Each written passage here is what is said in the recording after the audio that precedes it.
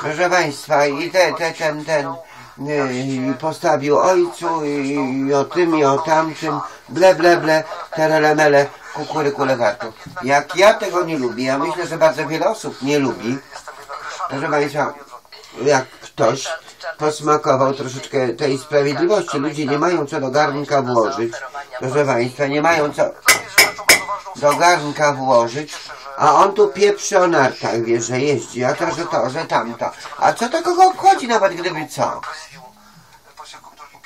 No się niech nauczy po polsku mówić, bo po prostu ma emisję głosu fatalną.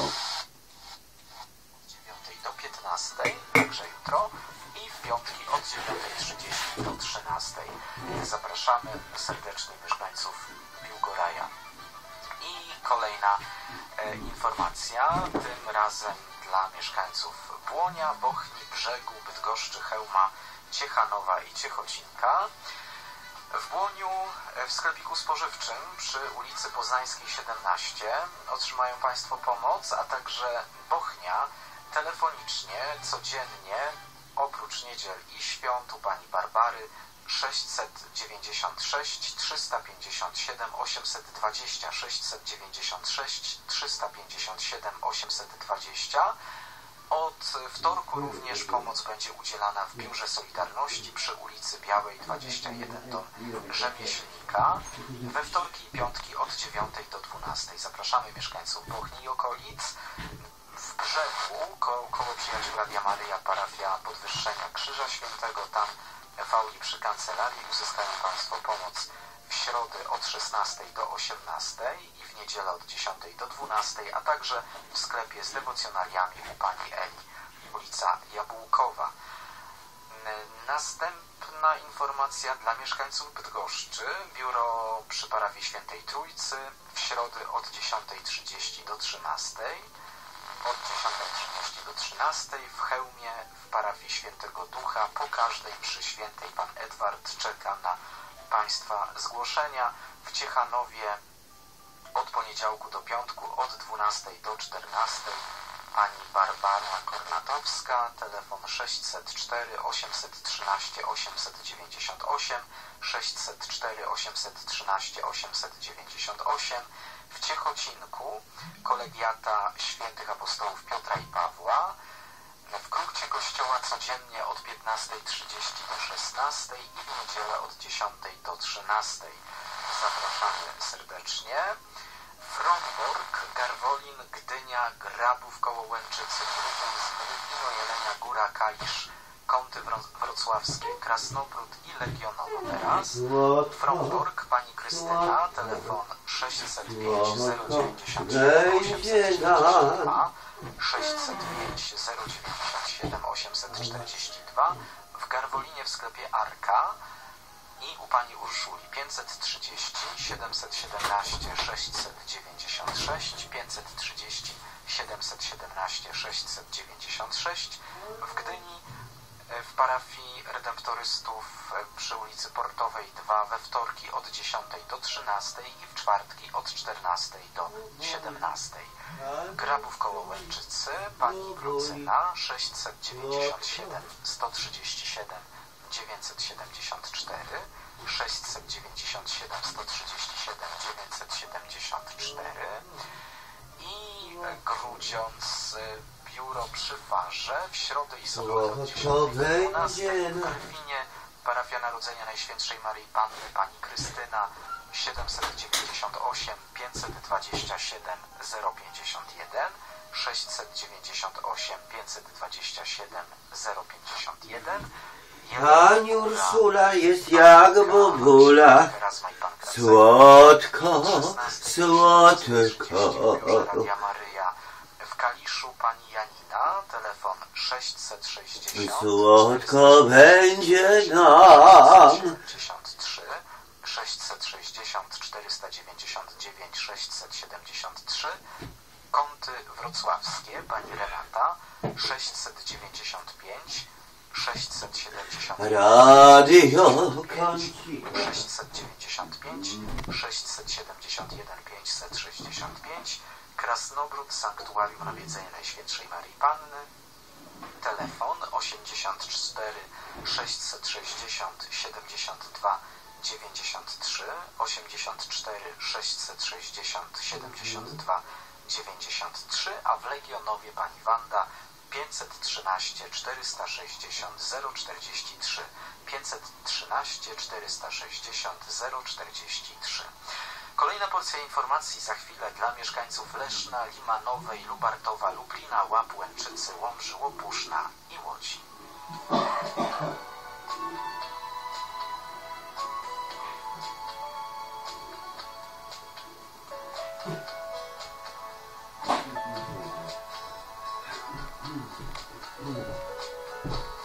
Słodko, słodko. Słodko tak będzie nas. Od boboli, od krosuli, od boboli.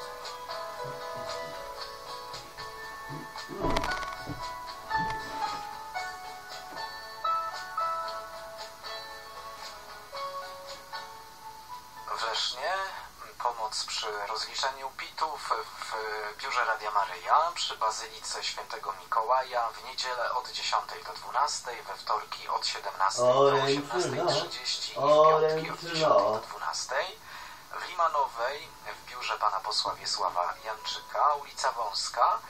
Zapraszamy. Lubartów y, koło przyjaciół Radia Maryja przy klasztorze Ojców Kapucynów przed i po mszy świętej o godzinie 18. W Lublinie terenowe biuro Radia Maryja na Poczekajce w niedzielę od 8 do 13 i w środę od 15 do 16.45. W Łapach biuro Radia Maryja przy parafii świętych apostołów Piotra i Pawła w niedzielę od 10 do 12.30, a w Łęczycy u pani Teresy 501 950 614 501 950 614 w Łomży w Sanktuarium Miłosierdzia Bożego od poniedziałku do soboty po mszy świętej o godzinie 9 a w niedzielę po mszach świętych o 7.30, 9.00, 10.30, 12.00 i 15.00. Łopuszno pani Barbara, telefon 536 612 680 536 612 680 w Łodzi pani Władysława 42 661 54 56 42 661 54 56 i w biurze pani poseł Urszuli Krupy na ulicy Piotrkowskiej 143 od poniedziałku do piątku od 10 do 17. Informacje dla mieszkańców Mielca, Międzyrzeca, Podlaskiego, Myszkowa, Myślenic, Nowego Sącza, Nowego Targu, Opola, Ostrowi Mazowieckiej, Piaseczna, Konstancina Jeziornej i okolic.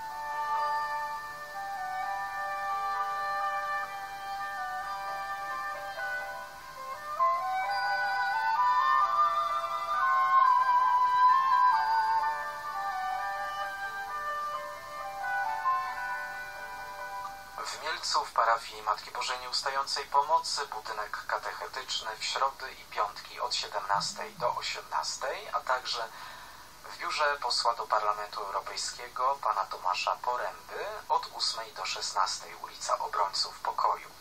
Międzyrzec Podlaski w sklepie z dewocjonaliami przy ulicy Warszawskiej, a w Myszkowie telefoniczne u pani Krystyny 791 462 081 791 462 081 w Myślenicach w lokalu przy ulicy Piotra Skargi 4 w piątki w godzinach od 8 do 12 w Nowym Sączu przy kościele kolejowym w środy i piątki od 10 do 12 w Nowym Targu w biurze pana senatora Jana Hamerskiego przy ulicy Kościelnej od poniedziałku do piątku od 9 do 14, w Opolu w parafii świętego Karola Bomor Boromeusza we wtorki od 16.30 do 17.30, w Ostrowi Mazowieckiej pani Zofia 29 746 27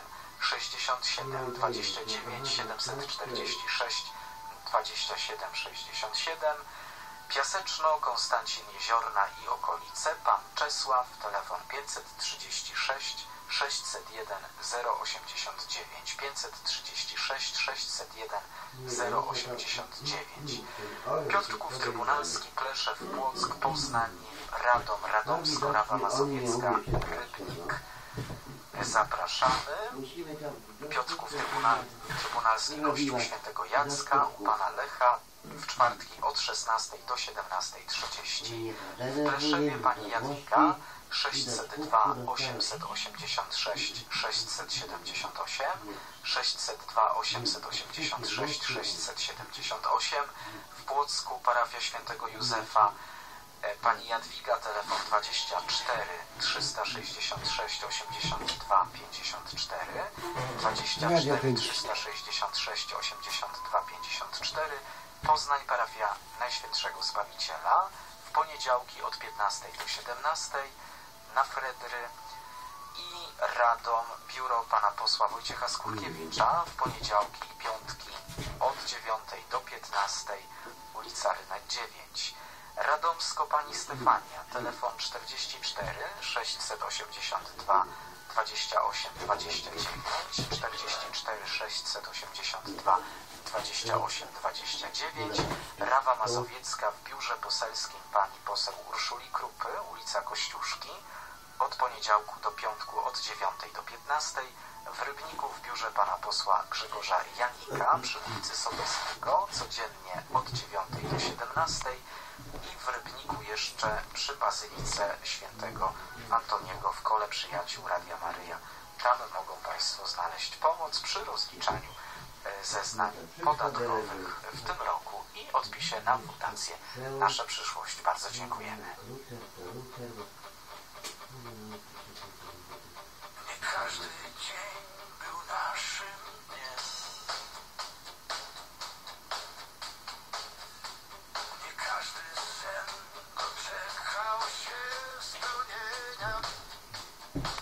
Proszę Państwa, aby nie, aby nie ta śpiewała Eleni, bo potem przychodzą do za, wiesz, na messengerze, na menedżerze wykazuje, że prywatne. W 1960 Czyli, że ona pieniądze nie zbierze, w chętnie, wiesz. wystąpił jako ich obrońca. W 1964 roku Kuroń i Modzelewski napisali list otwarty do partii, krytykujący biurokratyzację i klasowy charakter PRL-u. Miejsce PRL-u proponowali demokrację robotniczą. To, że rodziny zwróciły się o obronę na adwokat Steinbergowej, to było wiązane przede wszystkim z tym, że ona była przed wojną tą adwokatką broniącą procesach komunistycznych. Ona je tam wprowadziła jako osobę wspierającą. To nie był ich pierwszy kontakt z władzami bezpieczeństwa. Dwa lata chyba wcześniej pierwsza wersja tego przygotowywanego dokumentu wpadła w ręce władz bezpieczeństwa, przeprowadzono rewizję i zatrzymano na 48 godzin i zwolniono i skonfiskowano to i uznano, że to jest dobre, nie, nie będziemy wyciągali konsekwencji. No i oni w dalszym ciągu odtworzyli ten dokument, jeszcze go oszlifowali, nadali mu propagandowy akcent i powtórzyli całą operację. Właśnie był ten moment, który doprowadził do pasji komułki, że to ludzie z naszego kręgu robią takie świństwa partii, takie rzeczy, no to trzeba ich tak potraktować, jak się normalnie traktuje w naszym kraju opozycję polityczną, bo tu nie ma wyjątku. Prawo jest jednakowe dla wszystkich. Ci młodzi ludzie trafili na ławę oskarżonych. A jak już trafili, to już niezależnie od tego, jakie tam były początkowe intencje przy podejmowaniu decyzji strony komułki, no to znaleźli się w rękach funkcjonującego zawodowego aparatu, który zrobił swoje, no, bez szczególnej nagętności, bo w tych procesach wtedy sędziowie na ogół się specjalnie nie angażowali. Wiadomo było, że kwalifikacja jest taka, że to jest minimum 3 lata, no więcej to, to nie warto, ale w niej nie można. No i tak to wypadło. Pierwszym procesie Kuronia i Mozelewskiego jedna rzecz była specyficzna, bardzo niekorzystna dla oskarżonych. Do sądzenia w tej sprawie posadzono sędziego w Sądzie Wojewódzkim w Warszawie, jedynego chyba, który był autentycznie ideowo zaangażowanym komunistą. A nasza obrona była, nie ukrywam, no, cały problem polegał na tym, żeby jednak e, temu dokumentowi no, nadać jednak jakoś rangę stanowiska ideowego tych młodych ludzi. No oni tak myślą, mają do tego prawo. Na pewno nie stanowi to podstawy do odpowiedzialności karnej.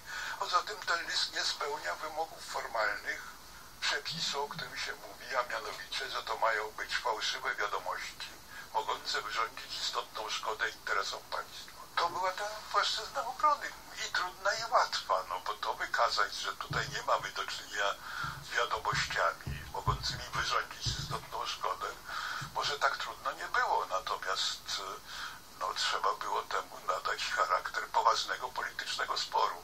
Ale to właściwie załatwiał jakby sam prokurator, który no, oskarżał obydwu jako szkodników politycznych i dostarczał obronie bardzo ładne pole do popisu.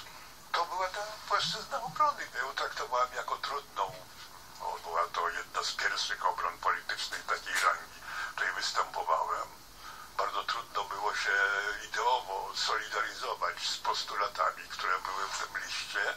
Trudno się zgadzać z listem, który po prostu był, no jakby to powiedzieć, przepraszam, no to, to ja tak nie mam prawa tego powiedzieć, bo byłem obrońcą, ale, ale myślę, że dzisiaj z perspektywy czasu sam żyjący jeszcze autor Karol Modzelewski by się zgodził, że to był, prawdę powiedziawszy, troszeczkę polityczny bełkot. No ale do wygłoszenia dosyć efektownego przemówienia to było bardzo szerokie pole do popisu.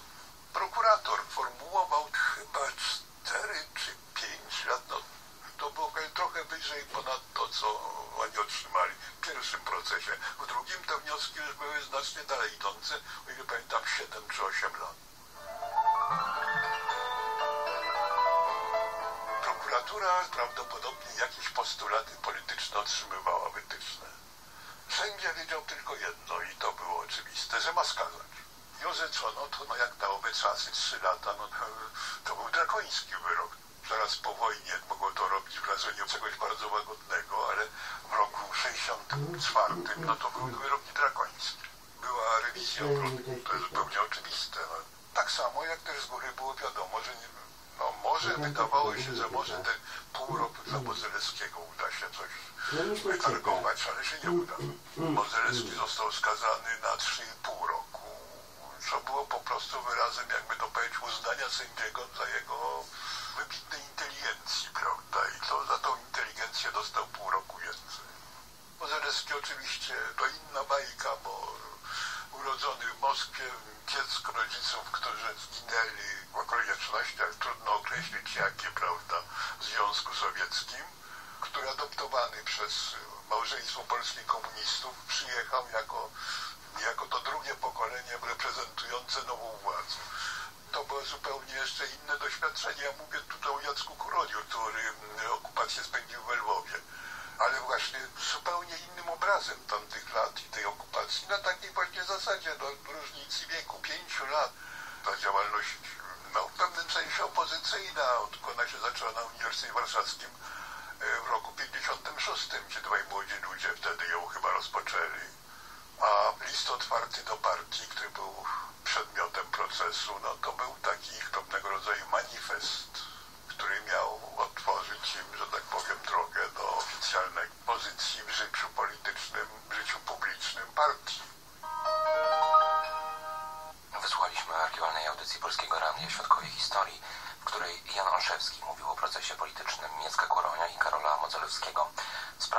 Sprawa dotyczyła listu otwartego do partii z 1964 roku, w którym krytykowano biurokratyzację i klasowy charakter PRL-u. Obrońca Kuronia i Modzelewskiego, także późniejszy premier Jan Olszewski zmarł w czwartek wieczorem w wieku 88 lat. Od tego czasu Jan Olszewskiego wspominają również na naszej antenie jego przyjaciele i politycy. Nigdy się nie poddawał, mówił w Polskim Radiu 24 w rozmowie z Michałem Rachoniem Antoni Macierewicz, były minister obrony i przyjaciel premiera Olszewskiego. Ja chcę przytoczyć słowa, które Jan Olszewski wypowiedział, to był przełom czerwca i lipca 1992 roku, podczas którejś z posiedzenia Sejmu i kolejnej nawały z wylewania na nas inwektyw i różnych innych miłych sformułowań w związku z y, realizacją uchwały lustracyjnej, w związku z ym, kwestią y, niepozwolenia wojskom rosyjskim na za, zastąpienie ich przez, y, ym, przez GRU i KGB, które by administrowały i tak dalej, i tak dalej. E, Janoszewski w pewnym momencie wstał i powiedział, panowie, nie nudźcie, nie nudźcie już więcej. Ja to wszystko słyszałem od 45 roku. Wymyślcie coś nowego, bo tylko po prostu powtarzacie te bzdury, które Polacy wysłuchują od swoich okupantów od dawna. I to jest analogiczny stosunek, a potem pokazuje jego stosunek do tego. To dla niego były rzeczywiście zjawiska, e, które e, w żadnym wypadku nie mogły dotknąć e, jego tożsamości, tak jak i każdego z nas. To była bardzo dobra lekcja nauczenia się, nauczenia się pewnego właściwego stosunku do ludzi, którzy nie mają czci honoru, ale którzy nie są właśnie w stanie nas obrazić. Mówi pan o, i Jan Olszewski w tych słowach mówił o całym okresie PRL. Dlaczego e, i jak można było funkcjonować w systemie okupacji sowieckiej na różnych jej etapach, a jednocześnie przez cały czas stać po stronie sprawiedliwości, po stronie dobra, występować w obronie w procesach politycznych. Jan Olszewski również w tych materiałach mówi o tym, jakie były jego doświadczenia, kiedy oglądał stalinowskie procesy, kiedy występował w obronie ludzi, którzy byli oskarżani, kiedy wreszcie na piśmie pod własnym nazwiskiem występował e, za tym, aby rehabilitować żołnierzy Armii Krajowych w tych najcięższych czasach. Zanim do tego się ustosunkuję, chcę tylko y, zamknąć pewną konkluzją tamten wątek. Y, Olszewski po prostu uważał, że to, co się zaczęło dziać po mm, w związku z obaleniem jego rządu jest nawrotem, jest powrotem nie tylko okrągłego stołu, jest powrotem po prostu e, najgorszych tradycji PRL-u i najgorszych e, sił PRL-u, że mamy do czynienia z pewnego rodzaju remisją, że tak powiem, odnową e, tamtego, tamtych, tamtych zjawisk. Ale czy ma pan na myśli w w takim związku razie z tym, że tak powiem, e, uznawał, uznał, że trzeba włączyć podobne mechanizmy, które pozwoliły się nam ratować w tamtym czasie. Czy ma Pan na myśli to, że ten mechanizm, ta, to, to porównanie do, do, do małpy, która nie jest w stanie obrazić, choć jest w stanie zrobić bardzo dużo krzywdy. I nudzi, to jest odniesienie do porządku trzeciej RP z trzeciej RP, y, nikt z nas nigdy nie słyszałem Jana Olszewskiego sformułowania trzecia RP, bo to jest inna materia, ale na pewno do układu pookrągłostołowego, który się odbudowywał po, y, po czerwcu 92 roku. Ten mechanizm obrażania osób i budowania, To czy próby budowania pewnego wizerunku Właśnie to osób, nie, które jest, walczą... to nie jest obrażenie, bo ty nie mam, znaczy rzeczywiście ani te słowa, ani ci ludzie nie są w stanie nikogo z uczciwych ludzi y, obrazić. Ale w To intencji jest- małpy o to chodzi. W Jeśli o intencji małpy chodzi, no tak, w intencji małpy chodzi nie tylko o obrażenie, a wręcz o wyeliminowanie, prawda, o rodzaj zabójstwa politycznego, e, społecznego, medialnego, informacyjnego. No, no o to chodzi, no wie pan, różne rzeczy się zdarzają, zdarzały wtedy i później się też zdarzały. Były próby na przykład e, upokarzania więźniów z Armii Krajowej w ten sposób, że ich wsadzano do cel razem z hitlerowcami, prawda? Taki klasyczny, klasyczny przykład. No, e, e, były też próby o, o niszczenia godności tych ludzi. Nawiasem mówiąc fałszywe, kłamliwe pseudoinformacje dotyczące e, biologicznych zjawisk, które się ludziom zdarzają w celi, prawda? A co ma na celu właśnie, czego istotą jest próba e, zniszczenia e, moralnego, psychologicznego danej osoby. To jest pewna metodologia e, działania Stosowana w Polsce stosowana przez Sowietów w Polsce dla wyeliminowania danej osoby z przestrzeni publicznej. I dlatego i to, to sformułowanie o małpach, to sformułowanie o tych o nudzeniu i tak dalej właśnie charakteryzowało nasz stosunek do tego zjawiska. Pan pyta, czy można było.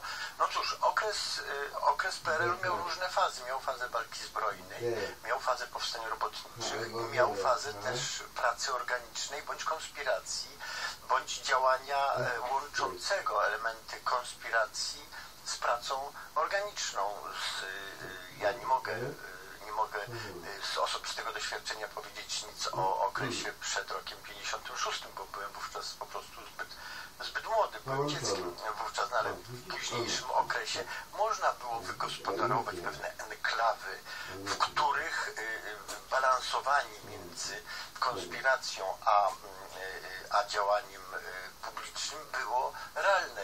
Z mojego doświadczenia takim klasycznym przykładem było harcerstwo i pierwsza warszawska drużyna y, imienia Romualda Tramuta Czarna Jedynka, prawda, z której wyrosła kadra niepodległościowa, bo była tam kształtowana z pełną świadomością, tak jak Jan Olszewski z pełną świadomością w swoim środowisku adwokackim, w swoim środowisku, y, w swoich działaniach publicznych, be- pracując jako adwokat, równocześnie wspierał, kształtował i umacniał środowiska niepodległościowe nie tylko swoimi przemówieniami, skuteczną obroną, wspaniałym e, zachowaniem, ale przecież także finansowo. Przecież warto pamiętać, że e, Jan Olszewski, kilka innych jeszcze e, osób dysponowało finansami jeszcze pochodzącymi z okresu okupacji hitlerowskiej i okupacji które były przeznaczane na umożliwienie bytowania ludziom, którzy byli pracy zupełnie pozbawieni, byli wyrzuceni przez system W komunistyczny. jakich latach funkcjonował ten fundusz i jak E, wyglądała... Znaczy, ja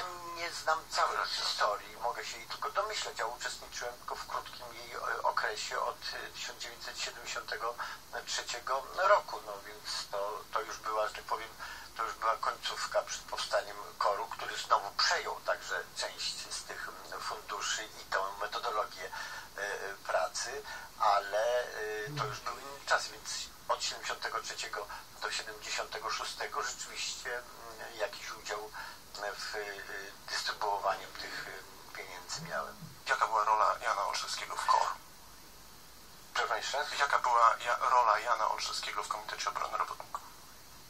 Wszystkie działania od pierwszego momentu y, na sali pod salą sądową 17 y, lipca mm, 1976 roku. Od tego momentu wszystkie działania związane z tworzeniem struktury y, organizacyjnej, która później przekształciła się w Komitet Obrony Robotników, y, konsultowałem, uzgadniałem y, i realizowałem wspólnie z Janem Olszewskim. To się tak naprawdę po- raz pierwszy ten schemat działania zaprezentowałem na spotkaniu u niego w domu mm, na, na ulicy Solec koło, koło sądów, y, koło sądów i y, od tego czasu nie tylko sprawy związane z obroną, adwokatami, ale także związane ze zbiórką pieniędzy, także z wyjazdami osób, także z y, strukturą organizacyjną, także ze sprawami druków podziemnych a w mniejszym lub większym stopniu, bo oczywiście szczegóły nie musiały czasami nie musiały być konsultowane czy dyskutowane w ogóle, tylko były realizowane albo przeze mnie, bądź przez ludzi, z którymi- którymi współpracowałem i tak dalej. Tutaj nie było takiego, takiej klasycznie wojskowej e, struktury e, do końca e, usystematyzowanej, ale była ona dosyć schierarchizowana mm, i Janoszewski był o wszystkim informowany i pytany o radę. I one się nam zawsze bardzo, bardzo przydawały, bo jego doświadczenie konspiracyjne było olbrzymie. Myślę, że będziemy jeszcze mieli wiele czasu, żeby się w całości dowiadywać. Przygotowywana jest teraz y, książka, jedyny materiał oparty na, na dziesiątkach, y, blisko stu rozmowach, które zostały przeprowadzone i nagrane z Janem Olszewskim, spisane, opatrzone przypisami. Y, Ta książka y, myślę, że rychło się ukaże. Mówię o niej także dlatego, żebyście Państwo mieli jasność, że powstaje e, materiał, e, który jest autentyczny, nie jest jakąś kompilacją e, różnych e, wyrwanych e, wypowiedzi czy po, po, powykrzywianych cytatów, tylko zawiera e, bardzo obszerne, e, obszerne wypowiedzi, relacje samego Jana Olszewskiego z jego własnego życia, doświadczenia i dorobku. Panie ministrze, chcę spytać o jeszcze dwie rzeczy. Mam nadzieję, że zdążymy. Jedna to y, proces y, toruński i rola Jana Olszewskiego y, przy sprawie no, tego procesu, który miał wyjaśnić, jak zginął błogosławiony ksiądz Jerzy Popłuszka. No cóż, Jan Olszewski był w tamtym czasie już dłuższego czasu doradcą episkopatu i e, jego e, rola była związana także z tą, z tą funkcją. On y, nie tylko miał możliwość zapoznania się i y, e, przyjrzenia z bliska aktom, aktom i działaniom ludzi, którzy tego morderstwa dokonali, a powtarzam, miał olbrzymie doświadczenie z okresu komunistycznego, świetnie znał personalia aparatu sowieckiego e, w Polsce i nie tylko w Polsce. e, I w związku z tym umiał odtworzyć strukturę działania, ale także miał bezpośredni kontakt z rodziną e, błogosławionego e, e, księdza Popiełuszki i z, i z episkopatem, co pozwalało mu zdefiniować rolę tego morderstwa jako e, e, działanie, które miało mieć kluczowe znaczenie w zablokowaniu jakichkolwiek możliwości zmian w Polsce. To, był, to miał być cios w Polskę, po której Polska miała się nie podnieść. Tak ją zdefiniował. Był tego w pełni świadomy, że ci ludzie działali na bezpośrednie polecenie najwyższych y, czynników w PRL-u wydane z Moskwy. Panie ministrze, nie mamy czasu, żeby porozmawiać o wszystkich aspektach e, tego przebogatego życiorysu. E, Będzie jeszcze okazja z pewnością do rozmowy na ten temat, ale na koniec chciałem Pana spytać o rzecz, o której będziemy jeszcze mówić w kolejnych częściach e, tej audycji. Jan Olszewskiego, rząd Pan był wykonawcą woli Sejmu w sprawie ujawnienia zawartości archiwów Służby Bezpieczeństwa na temat tych osób, które, które zasiadały w e, elicie władzy e, Polski w 1992 roku. Po latach wiadomo, że wszystko to, co znalazło się w tych dokumentach, było prawdą, a mimo wszystko ten akt, ta sprawa i ujawnienie tych nazwisk do dziś jest przedmiotem totalnej krytyki ze strony tych, którzy uważają, że archiwa komunistyczne powinny krytyka ma zostać inny sens. Krytyka to dyskusja.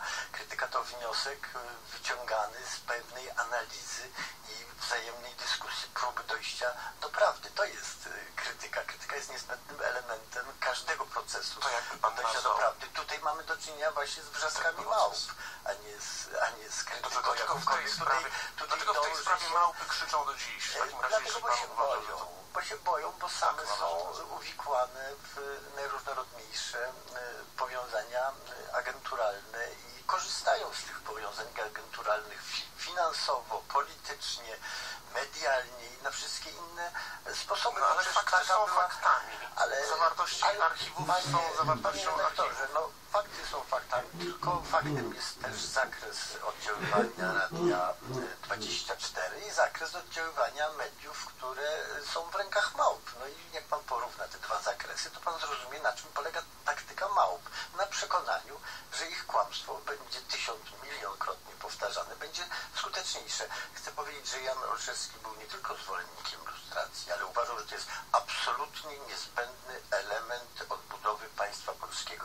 Tak, na antenie Polskiego Radia 24 Jana Olszewskiego wspominał Antoni Macierewicz e, w rozmowie z Michałem Rachoniem. A gdyby Państwo chcieli oddać hołd byłemu premierowi, to można to zrobić w Kancelarii Premiera Rady Ministrów w Warszawie, gdzie została wystawiona specjalna księga kondolencyjna. Dziś można to zrobić do godziny 18, a od jutra do dnia pogrzebu, czyli do przyszłej soboty, księga będzie wyłożona w godzinach od 9 do 19. Tu Polskie Radio 24, minęła 16.30. Czas na informacje dnia. Olga Bobienko, zapraszam. Silna i nowoczesna armia to polska racja stanu, przekonuje premier Mateusz Morawiecki. Szef rządu razem z ministrem obrony narodowej Mariuszem Błaszczakiem odwiedził pierwszą brygadę pancerną w. Minister Błaszczak poinformował, że Polska kupi amerykański system mobilnych wyrzutni rakietowych HIMARS. Modernizacja armii zwiększy możliwości polityczne i gospodarcze kraju, podkreślił premier Mateusz Morawiecki. Jesteśmy na dobrej drodze do budowania potencjału, który zwiększy możliwości polityczne, zwiększy też możliwości geopolityczne i gospodarcze całej Rzeczpospolitej. Bo budowa silnej armii ma również ogromne przełożenie na znaczenie Polski w Europie i znaczenie Polski w świecie. Umowa zostanie podpisana w najbliższą środę. System artylerii rakietowej wysokiej mobilności HIMARS jest zdolny do rażenia celów na odległości do 300 km.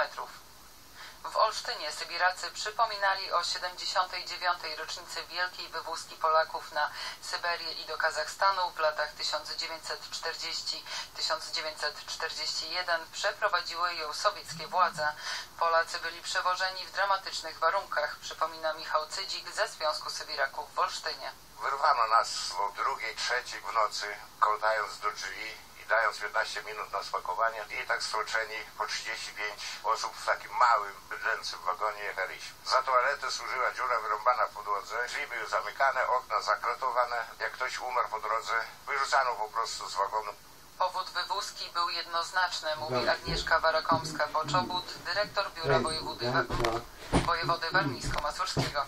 za to, że byli Polakami. Władzy sowieckiej nie podobało się to. Chcieli wynarodowić tereny, które zostały włączone do Związku Sowieckiego. Według różnych szacunków w latach 1940-1941 na wschód wywieziono od 300 tysięcy do ponad miliona Polaków. Jeśli Wielka Brytania opuściłaby Unię Europejską bez porozumienia, w Niemczech może zostać zlikwidowanych ponad 100 tysięcy miejsc pracy, czyli więcej niż w jakimkolwiek innym państwie. Tak wynika z symulacji ekonomicznej, którą podaje niemiecka gazeta Welt am Sonntag. Przeprowadziły ją wspólnie Instytut Badań Ekonomicznych Halle oraz Uniwersytet Marcina Lutra w Halle i Wittenberdze. Jak stwierdza autorka badań, w żadnym innym państwie Brexit bez porozumienia nie oddziaływuje tak na rynek pracy jak w Niemczech. Podana liczba uwzględnia tylko te miejsca pracy, które są bezpośrednio zagrożone w związku z możliwością przywrócenia stawek celnych w handlu z Wielką Brytanią. Nie wzięto pod uwagę pośrednich wpływów wyjścia Wielkiej Brytanii bez umowy, takich jak spadek skłonności do inwestycji. Wtedy realne straty dla niemieckiego rynku pracy byłyby jeszcze większe. Jak wynika z badania, na skutki Brexitu bez porozumienia najbardziej narażona jest w Niemczech branża motoryzacyjna. Film Pawła Pawlikowskiego Zimna wojna z szansami na nagrody BAFTY. Obraz jest nominowany w kategorii Najlepszy film nieanglojęzyczny.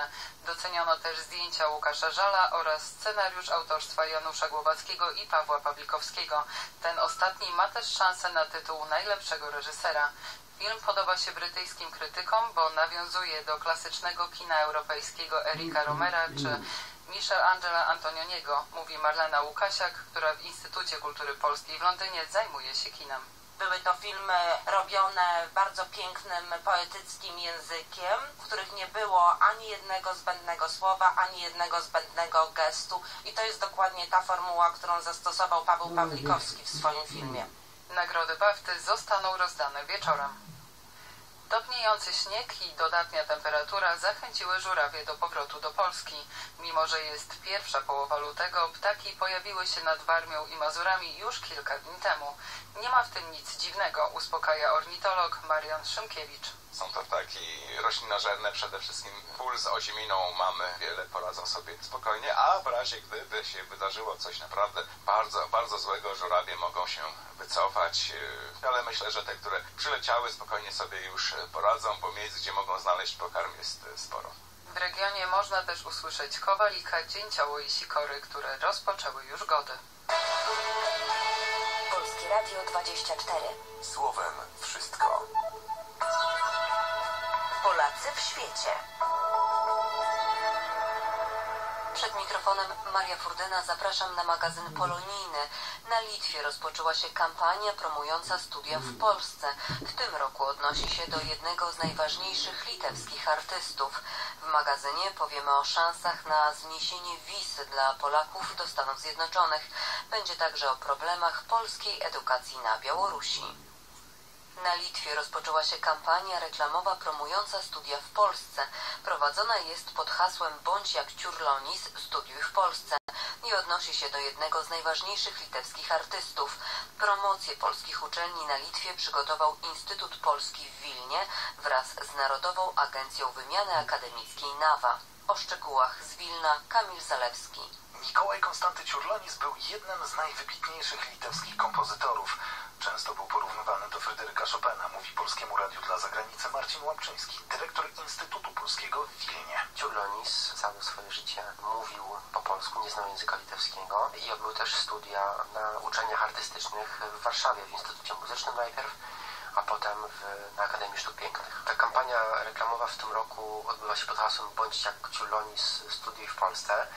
To jest kampania trochę z przymrużeniem oka, e, dzięki której staramy się e, przyciągnąć coraz więcej e, młodych ludzi i poinformować ich o tym, że w Polsce można studiować na najwyższym poziomie uczelniach. W tym roku postawiliśmy z racji na Ciulonisa na uczelnie artystyczne. To są uczelnie, które podlegają Ministerstwu Kultury i Dziedzictwa Narodowego w Polsce.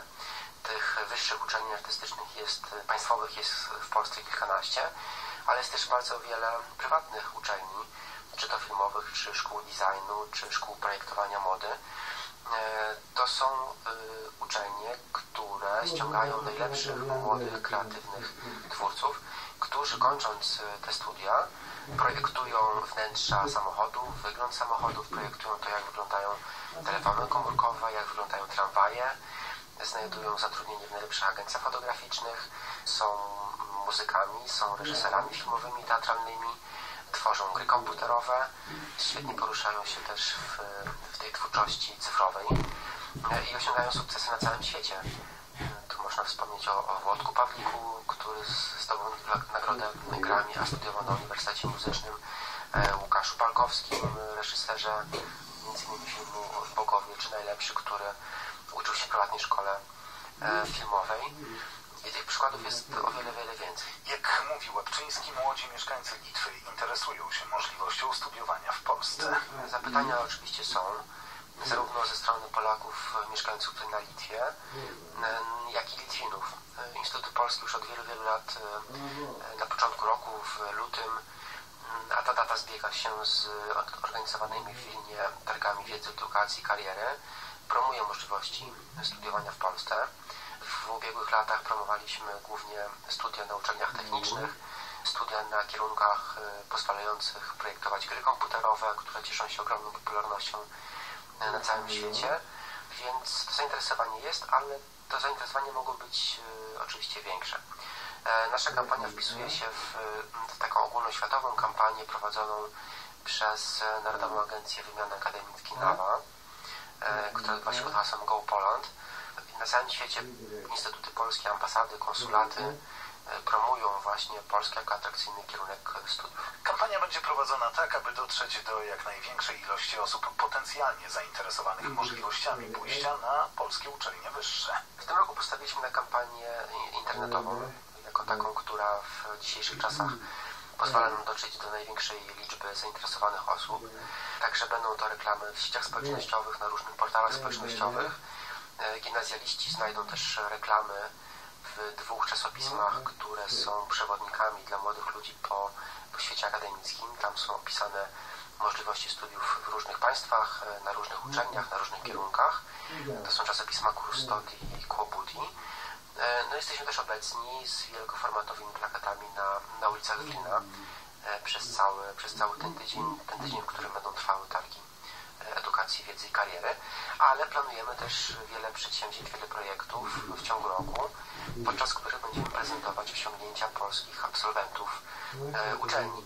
Za chwilę w Wilnie rozpocznie się Festiwal Filmów Studenckich Shobles, organizowany przez Litewską Akademię Muzyczną i Teatralną. Na tym festiwalu będą, będzie można obejrzeć etiudy studenckie powstałe na jednym z artystycznych wydziałów Akademii e, Uniwersytetu Śląskiego w Katowicach i będą też prowadzone wa- warsztaty przez, przez polskich twórców. I to też jest jeden z tych sposobów, dzięki któremu będziemy mogli opowiedzieć o, e, o polskich uczelniach artystycznych. Z Wilna Kamil Zalewski, Polskie Radio 24. Czy już tylko miesiące dzielą nas od podróżowania do Stanów Zjednoczonych bez wiz? Wiele wskazuje na to, że tak. Amerykańska ambasada w Warszawie poinformowała właśnie, że spadek odmów przyznawania tzw. promesów wizowych spadł poniżej 4%. 3% wymagane jest, aby włączyć dany kraj do ruchu wizowego. Te informacje bardzo ucieszyły środowisko amerykańskiej Polonii, które od wielu lat o to zabiega. Więcej na ten temat Jan Pachlowski. Dane na ten temat publikuje Departament Sprawiedliwości Stanów Zjednoczonych. W 2017 roku liczba odmów wydawania wiz dla Polaków wyniosła blisko 6%. W kolejnych 12 miesiącach trend ten zmniejszył się o 1 trzecią. Od kilku jednak lat już Amerykanie coraz mniej odmawiają wydawania wiz Polakom. Z tego faktu bardzo zadowolony jest minister spraw zagranicznych Jacek Czaputowicz, który w środę przebywał z jednodniową wizytą w Waszyngtonie. Poniżej tej symbolicznej cyfry 4 to jest bardzo dobra wiadomość. Jeżeli ta tendencja się utrzyma, wówczas no, z mocy prawa niejako nie będzie obaw i też pretekstu, żeby te wizy utrzymywać, jak to będzie poniżej 3. No, mamy nadzieję, że ta tendencja się utrzyma, czyli szanse są. Zobaczymy. Aktualnie do Stanów Zjednoczonych bez wiz mogą podróżować obywatele 38 państw. Większość z nich to przedstawiciele Unii Europejskiej, dokładnie 23 krajów. Wśród nich są m.in. Litwini, Węgrzy, Czesi czy Słowacy. 3% odmów przyznawania wiz to jeden z głównych wymogów Amerykanów, aby włączyć dany kraj do ruchu bezwizowego z USA. Są także inne obwarowania. Chodzi m.in. o umowę w zakresie bezpieczeństwa, a także sam Departament Bezpieczeństwa Krajowego USA musi wprowadzić odpowiednie procedury. To jednak wszystko wydaje się formalnością. Znawca amerykańskiej sceny politycznej Andrzej Wąsewicz, redaktor naczelny prestiżowego chicagowskiego tygodnika Express podkreśla, że Polonia od wielu lat lobuje w różnych środowiskach politycznych, aby obowiązek wizowy dla Polaków w końcu został zniesiony. Próbowano poszczególnych prezydentów do tego angażować zarówno w Polsce, jak i w Stanach Zjednoczonych, ale oczywiście decyzja zależy od kongresu i są tutaj ścisłe przepisy. Przyznam, że Polonia już jest troszkę zniecierpliwiona czekaniem, ponieważ Polska, jak wiadomo, jest bardzo wiernym, oddanym sojusznikiem Stanów Zjednoczonych. I chciałbym tutaj nawiązać do wtorkowego wystąpienia prezydenta Donalda Trumpa. Chodzi o orędzie o stanie państwa i tam właśnie znalazł się wątek, który został podchwycony przez polonijnych publicystów.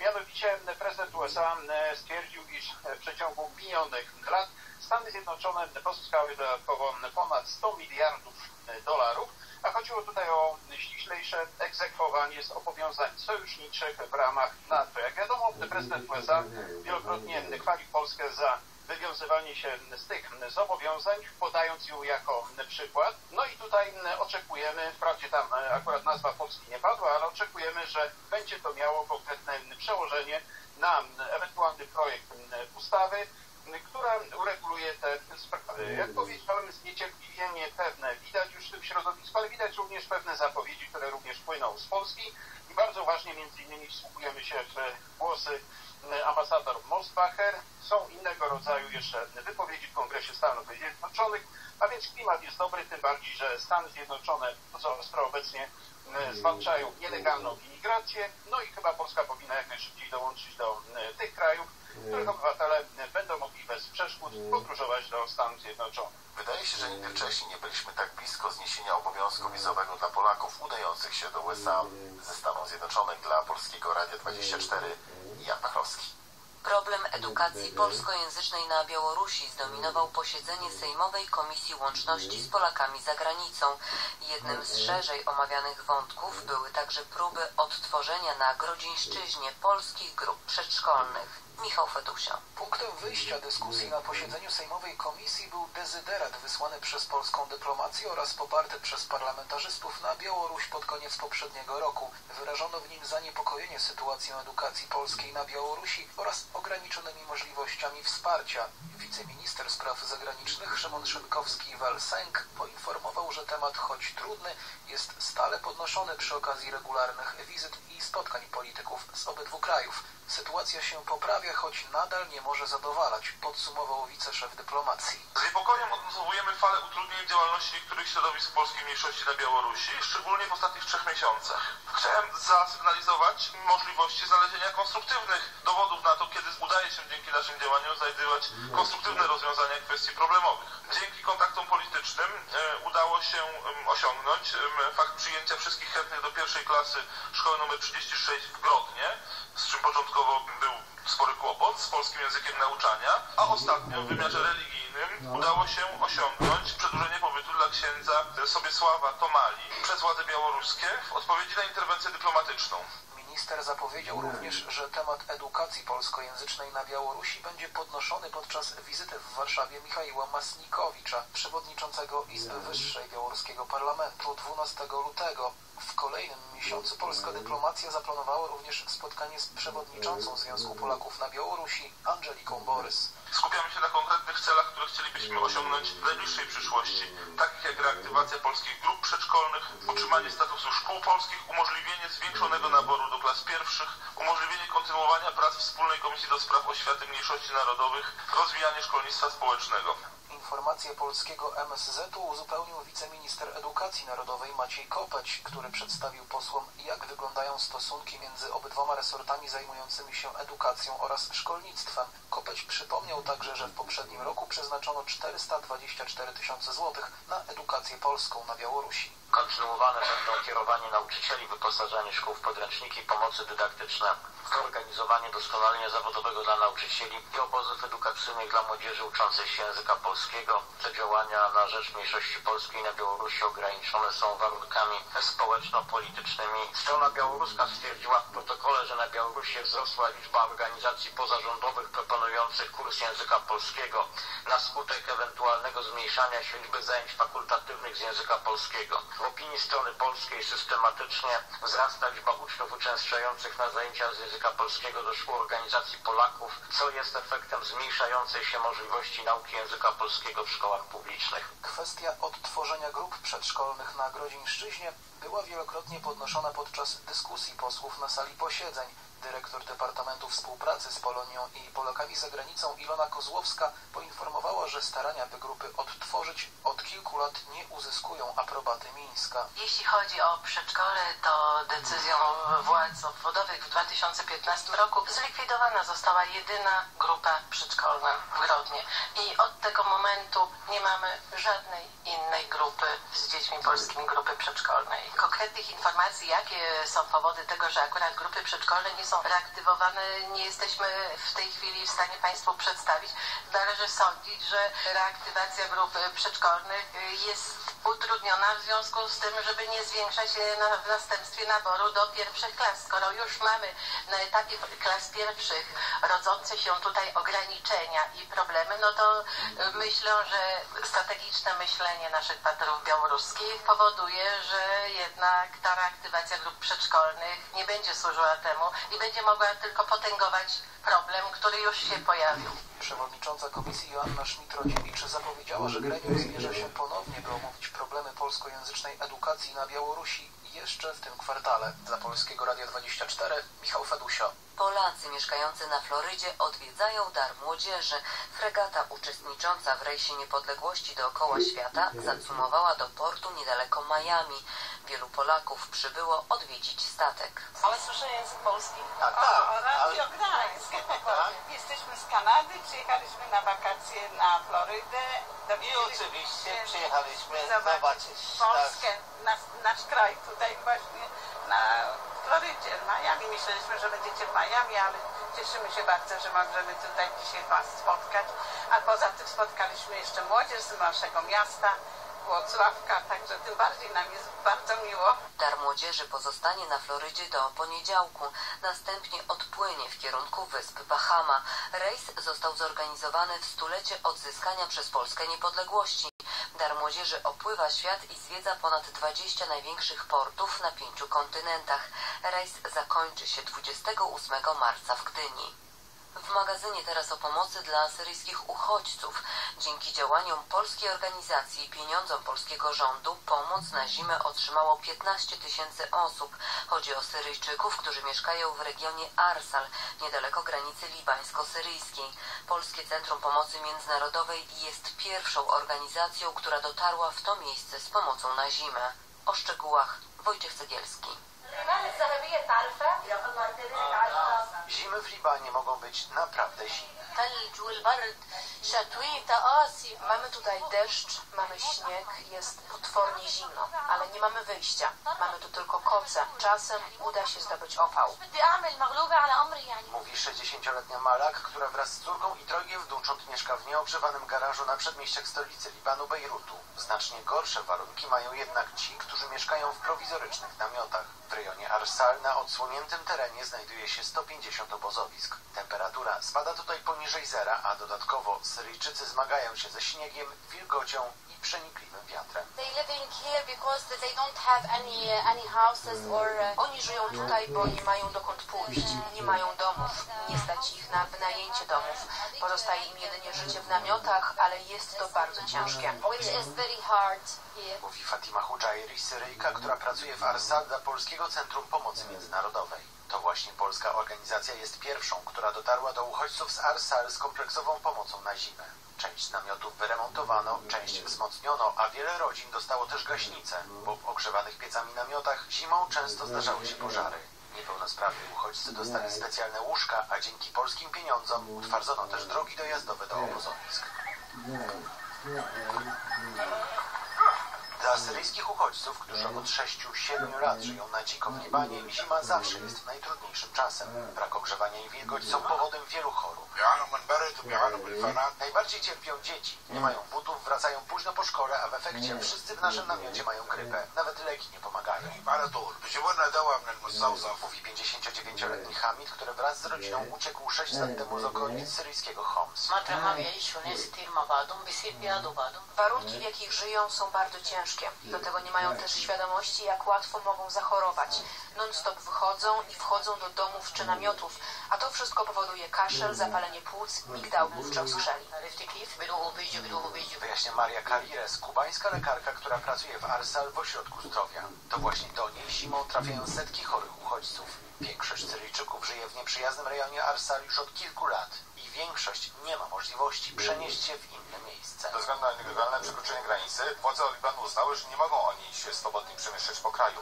Z drugiej strony uchodźcy ci nie mogą wrócić do Syrii, gdyż tam grozi im albo aresztowanie, albo wciągnięcie siłą do wojska, różnego rodzaju represje. Podkreśla prezes Polskiego Centrum Pomocy Międzynarodowej Wojciech Wilk. I choć wojna w Syrii powoli dogasa, to obecna zima wcale nie musi być dla uchodźców ostatnią na wygnaniu. Wielu Syryjczyków boi się represji i wciąż nie chce wracać do swoich domów. Pomoc dla uchodźców w libańskim Arsal była możliwa dzięki specjalnym funduszom kancelarii premiera. Tysiąc lat istnienia polskiego narodu i państwa przedstawia wystawa w Parlamencie Europejskim zatytułowana Idea wolności i niepodległości Polski na przestrzeni wieków. Ekspozycja została przygotowana przez Fundację Ochrony i Pamięci Dóbr Kultury NIKE, a pomysłodawcą jej wystawienia w Europarlamencie w Brukseli był europoseł Jacek Sariusz-Wolski. Deputowany powiedział, że wystawa pokazuje tysiąc lat walki narodu polskiego w obronie Zachodu przed najeźdźcami i tysiąc lat walki z europejskimi sąsiadami w obronie własnej wartości. Jacek Sariusz-Wolski liczy na to, że obywatele Europy Zachodniej, którzy nie znają polskiej historii, zainteresują się wystawą.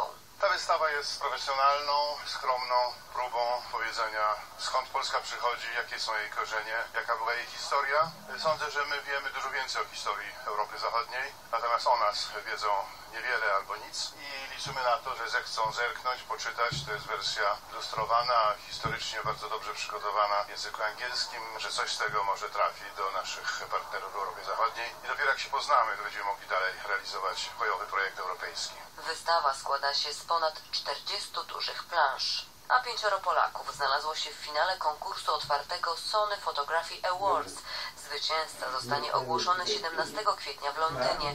O nominowanych fotografiach opowie Adam Dąbrowski. 195 krajów, niemal 330 tysięcy prac. Tak było na początku, a teraz po selekcji jury liczba zgłoszonych fotografii zmniejszyła się do niespełna 150 w 10 Radio kategoriach, a w czterech z nich polskie nazwiska. Stocznia Gdańska, ale maszyna dadaistów to pomysł Patryka Kulety w kategorii kreatywność. Tomasz Kozłowski przygląda się na damę tradycyjnemu świętu w Mongolii. To kategoria kultura. Olga Urbanek nominowana jest za burzę rudych włosów, portret swojej przyjaciółki Anny. A Marlena Kurowska-Jarkowiak uchwytuje dziecięcą radość z zabawy z kałużem. Radio konkuruje m.in. z Piotrem Cyganikiem, który dokumentuje Dzień Policjanta. Cyganikiem. Co jeden to cyganik. Teraz tak kombinują. W Boga nie wierzą. W parku siedzą grube cygany z Karyszewskim. Są podglądani, są nagrywani. Gadają głupoty. Nic na temat Pana Boga, nic na temat Biblii. Zrównani y, z katolickimi tymi, co y, dziadami, co siedzą pod kościołem, tudzież pod stołówką u kapucynów się biją, leją. I z gitarą przyszli, z, z orkiestry i od orkiestry się odłączyli, przyszli, by tutaj u kapucynów się najeść, biją się. No, no już całkiem jak cyganie. tam. Gdzie cyganie już nie biją się, nie kradną, a tamci biją się, kradną. Dwa tysiące lat to samo. Się uczestniczyć w papieskiej mszy, gdy tylko została ogłoszona decyzja o wizycie Franciszka na Półwyspie Arabskim. Wszyscy jesteśmy bardzo podekscytowani i ochrypnięci. bardzo, bardzo, bardzo szczęśliwi. Bo to jednak jest niesamowite wydarzenie. Nie, nie zapominajmy, jak blisko Mekki jesteśmy i jaka religia tutaj dominuje, a mimo wszystko zdecydowali się na to, żeby zaprosić papieża i no, tu odbywają się duże zmiany i to widać. Ksenia Roszkowska dodaje, że cieszy ją, iż papież chce prowadzić dialog z przedstawicielami innych wyznań, których Polka spotyka mieszkając w Emiratach. Są różne wyznania. Jesteśmy katolikami, są protestanci, są grekokatolicy, są muzułmanie. Co możemy zrobić? Tylko żyć w pokoju.